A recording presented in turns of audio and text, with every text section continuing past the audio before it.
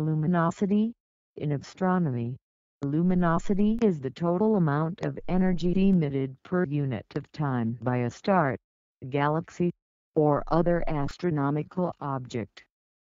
As a term for energy emitted per unit time, luminosity is synonymous with power. In SI units luminosity is measured in joules per second or watts. Values for luminosity are often given in the terms of the luminosity of the Sun. Luminosity can also be given in terms of the astronomical magnitude system. The absolute bolometric magnitude MB of an object is a logarithmic measure of its total energy emission rate while absolute magnitude is a logarithmic measure of the luminosity within some specific wavelength range or filtered band.